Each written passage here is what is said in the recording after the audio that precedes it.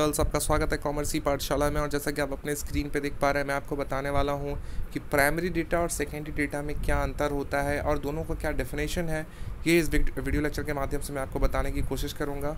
तो मैं आपका स्वागत करता हूँ हमारे चैनल में, जिसका नाम है कॉमर्सी पाठशाला। और हम करने वाले हैं अभी इको सेवन का एक बहुत ही इंपॉर्टेंट टॉपिक और वो है कि प्राइमरी डेटा और सेकेंडरी डेटा किसे कहते हैं। तो ये यूनिट टू से रिलेटेड है, लेकिन बहुत इंपॉर्टेंट टॉपिक्स है। छोटे क्वेश्चंस में लाइक फाइव मार्क्स का कोई अगर क्वेश्चन आया तो आपसे ये सवाल पूछा जा सकता है। ठीक है?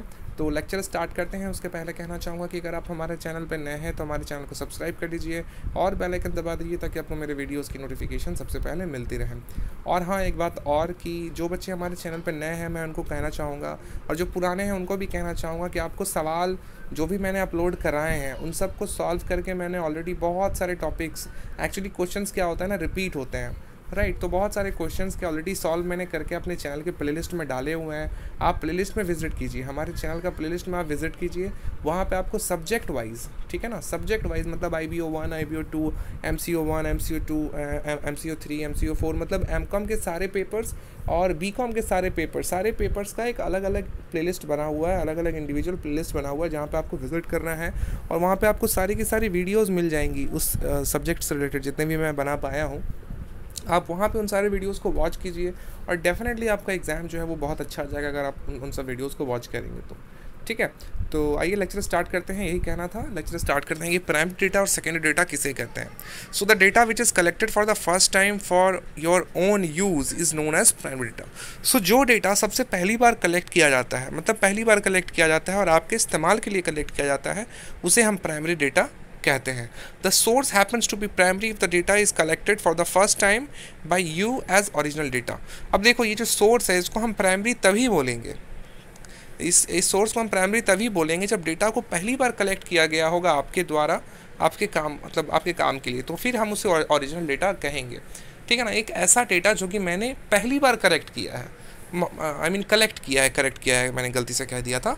कलेक्ट किया है, ठीक है? तो उसे हम कहेंगे ओरिजिनल डेटा या फिर primary data on the other hand if you are using data which which has been collected classified analyse by someone else then such data is known as secondary data तो बहुत ही आसान भाषा में इसको बताने की कोशिश की गई है कि अगर दूसरी तरफ़, अगर आप उस डेटा का इस्तेमाल कर रहे हैं जिसको पहले ही कलेक्ट कर लिया गया था, उसको क्लासीफाई किया गया या फिर किसी को उसको एनालाइज किया गया किसी और के द्वारा और आप उस डेटा का इस्तेमाल करते हैं तो फिर वो सेकेंडरी डेटा कहलाएगा। मैं जैसे आपको एक एग्ज़ाम्पल देता हूँ कि आप सपोज़ आज मार्केट में गए और इस लॉकडाउन में आपने देखने की कोशिश की कि मार्केट में कितनी गाड़ियाँ जो है एक घंटे में एक जगह से दूसरे जगह तक गई मतलब आपकी नज़रों के सामने से क्रॉस की की।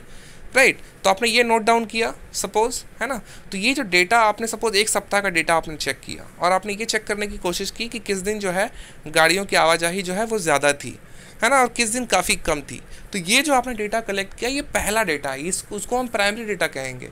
लेकिन कई सालों बाद, या फिर कुछ दिनों बाद सपोज़ कोई एक और व्यक्ति जो है, उसी चीज़ को वापस से मतलब चेक करना चाहता है, जो जिस चीज़ को आपने चेक किया था तो वो प्रैक्टिकल वो पर्टिकुलर उस जगह पे नहीं गया। उसने खुद जा कर के नहीं किया, बल्कि आपने जो डेटा कलेक्ट किया था, उसी डेटा का इस्तेमाल करके वो कुछ लाइक अपने काम को आगे बढ़ाया। है ना? तो जो आपने किया था, वो आपका ओरिजिनल डेटा था बट जो दूसरा व्यक्ति था जिसने आपके डेटा को लाइक एक्सेस किया, वो जो है हमारा सेकेंडरी डेटा कहलाएगा। ठीक है? तो ये हमारा प्राइमरी डेटा और सेकेंडरी डेटा था। आगे पढ़ते हैं। The source of secondary data are called secondary sources तो जो सोर्स होता है हमारा सेकेंडरी डेटा का, उसे हम कहते हैं सेकेंडरी सोर्स और जो प्राइमरी डेटा का जो सोर्स होता है, उसे हम कहते हैं ओरिजिनल डेटा है ना? For instance, national income data collected by government of India in a, uh, uh, by government in a country is primary data for that government, but the same data becomes secondary for those research workers who use it later. ठीक है ना? तो यहाँ पे for instance example की बात की जा रही है कि suppose national income data collect किया गया किसी भी कंट्री के गवर्नमेंट के द्वारा तो वो जो डेटा होगा, वो प्राइमरी डेटा होगा।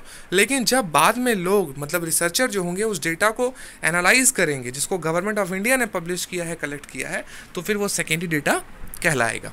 ठीक ना? We may thus state that primary data is in the shape of raw material to uh, which statistical methods are applied for analysis.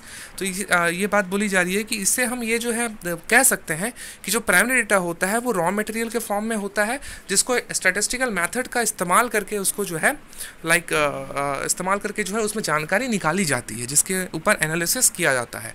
At the same time secondary data is in the shape of finished products since it has already been treated in some form और और the other by statistical method ठीक है ना? और ये भाई बात भी बोली जा रही है कि जो सेकेंडरी डेटा होता है वो एक आ, आ, वो एक तरह से फिनिश्ड प्रोडक्ट्स के रूप में होता है क्योंकि उसका इस्तेमाल जो है ऑलरेडी हो चुका होता है या फिर तो उसमें हम और ज़्यादा स्टेटिस्टिकल मेथड का इस्तेमाल करके उसमें और भी ज़्यादा जो है जानकारियाँ निकालने की कोशिश करते हैं। तो ये छोटा सा हमारा डेफिनेशन था मीनिंग था प्राइमरी डेटा और सेकेंडरी डेटा का।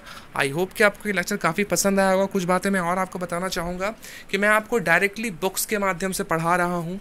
तो कई लोगों को मे भी शायद ऐसा लग लग लग सकता है कि मैं सिर्फ़ रीड करके आपको ट्रांसलेट कर रहा हूँ तो ये बिल्कुल भी गलत है। ठीक है ना? मैं आपको समझाने की कोशिश कर रहा हूँ कि बुक में क्या लिखा हुआ है।